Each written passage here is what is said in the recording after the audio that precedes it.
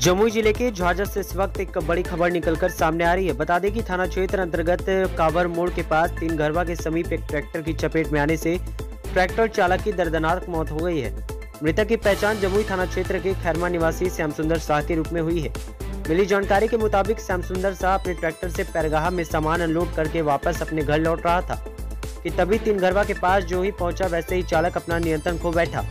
और अपना वाहन लिए सड़क किनारे एक नाले में जा फंसा, जिसके बाद ट्रैक्टर चालक नीचे गिरकर बुरी तरह दब गया और उसकी मौके पर ही मौत हो गई।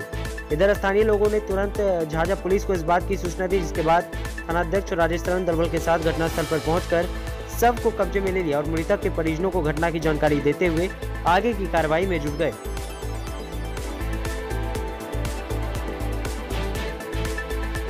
पाँच मिनट के बाद यहाँ पर कैसे हुआ? मतलब कैसे आप लोगों को जानकारी मिला? जानकारी मिला गाड़ी देखा है, अंतिम इधर गाड़ी साइड में था। साइड में था लोग आया देखे तब देखा यहाँ एगो चपा हुआ है। हाँ आप उसके बाद गाँव में हल्ला हुआ सारे लोग ग्रामीण आया दौड़ के।